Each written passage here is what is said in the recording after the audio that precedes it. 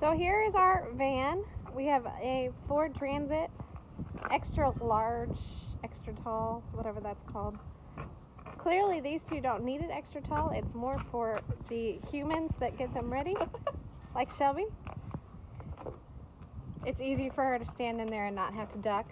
Um, when we're getting horses ready, hi Wendy, it's nice to get them ready in here and then it's not so much of a, can I pet your horse while you're trying to get your horse ready?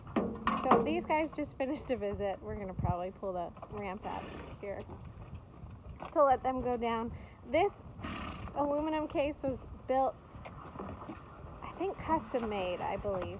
And so this fits into the back of the van pretty perfectly. And then they can walk down. It's just a piece of plywood or something. Yeah, see? That's not normally how Wendy walks out of there.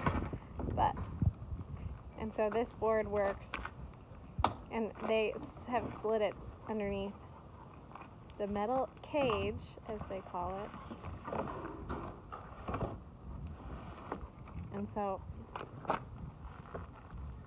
this sits in the van, and they just came back from a visit, so it's full of poop. And then I think this is a pool liner or something, so it just keeps a lot of the dirt away. And then, oh, here, you might want that.